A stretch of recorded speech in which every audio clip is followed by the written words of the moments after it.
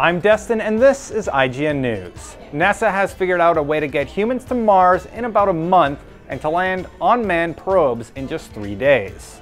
In a NASA video, University of California, Santa Barbara professor Philip Lubin describes the process of photonic propulsion, which involves propelling objects with mass-free particles of light, or photons, basically pushing spaceships with an enormous laser.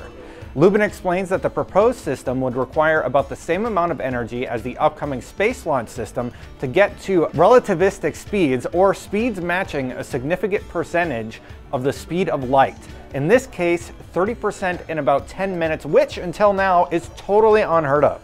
At that speed, humans could scout and perhaps one day reach potentially habitable exoplanet light years away from Earth. So what's the catch? According to Lubin, there is no known reason why we could not do this. For more insane space news, stay tuned to IGN.